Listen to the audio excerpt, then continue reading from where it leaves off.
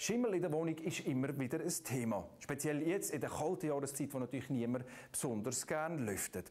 Wie man den Schimmel wieder wegbekommt oder wie er gescheiter gar nicht erst entsteht, da die wichtigsten Tipps zusammengefasst vom Hans Barandun. Die leichten Schimmel kann man äh, mit einem feuchten Lumpen wegwaschen.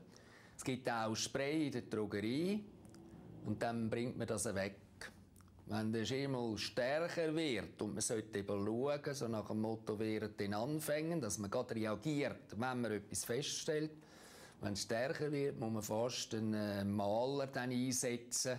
Alle grösseren Malerfirmen haben so Spezialabteilungen, wo man dann den Schimmel äh, bekämpft und wegmacht. Kann Schimmel zu gesundheitlichen Problemen führen? Nein, es ist tatsächlich so, dass wenn man Schimmel sein lässt und der sich ausbreitet, dass dann ein gesundheitliches Risiko tatsächlich kann entstehen kann. Sind zwar nicht alle Schimmelsporen giftig, aber es ist vor allem gefährlich äh, für Kleinkinder, wenn äh, man da nicht Abhilfe schafft und eben sofort reagiert.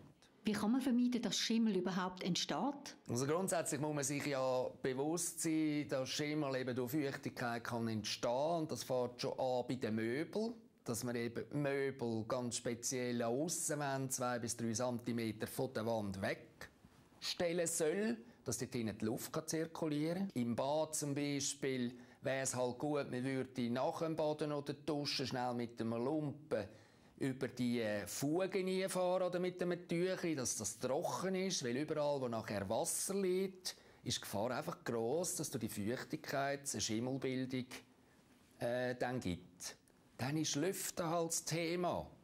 Und auch wenn das die Leute manchmal ähm, nicht so ernst nehmen, wenn sie nicht lüften, dann nachher äh, ist die Gefahr einfach groß, dass Schimmel entstehen. Und das wollen wir ja nicht.